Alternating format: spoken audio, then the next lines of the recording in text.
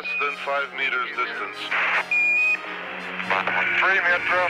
Three meters. Thirteen metro. One meter.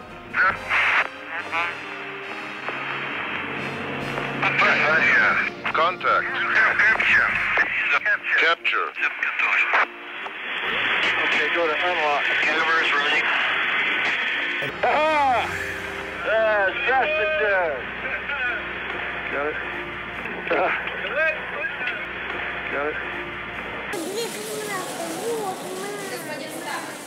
One of the many firsts of the Apollo Soyuz program was the managing the challenge of docking the American Apollo and, and the Russian Soyuz spacecraft, which had different atmospheres. And of course, flying together for 46 hours in space as one crew was a truly great historic achievement, not only for the five men in space, but for the technical teams that supported them from the ground.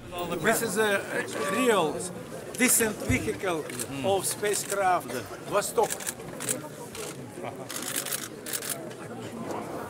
40 years ago, the United States and Russia completed one of the most significant achievements in human spaceflight history the docking of an American Apollo spacecraft with a Russian Soyuz spacecraft.